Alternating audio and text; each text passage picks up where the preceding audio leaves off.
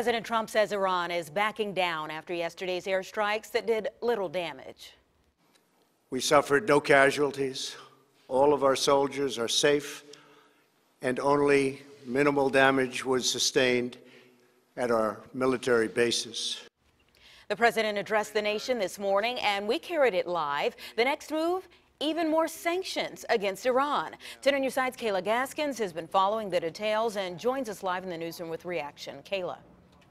Yeah, in his speech from the White House this morning, President Trump backed away from calling for any more military action, taking a tone of diplomacy. The president offered to make a new deal with Iran.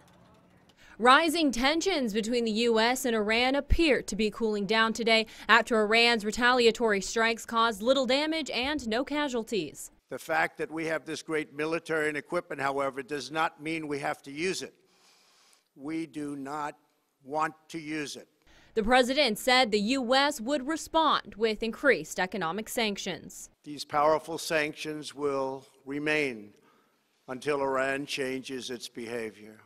Leaders have dialed back rhetoric on both sides. Earlier today, Iran's foreign minister tweeted in part, We do not seek escalation or war, but will defend ourselves against any aggression. Iran appears to be standing down, which is a good thing for all parties concerned and a very good thing for the world. Today, President Trump also offered to reach a new deal with Iran.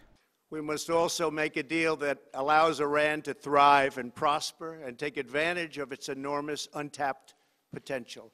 In order to make a deal, though, President Trump said Iran has to give up its nuclear ambitions.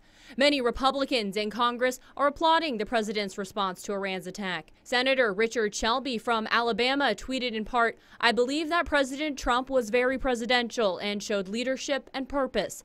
Many Democrats remain concerned. Senator Cory Booker tweeted this evening, just stepped out of a 75 minute briefing regarding President Trump's military actions in Iraq. We were provided no evidence of an imminent threat. I remain deeply skeptical that he had justification for this attack.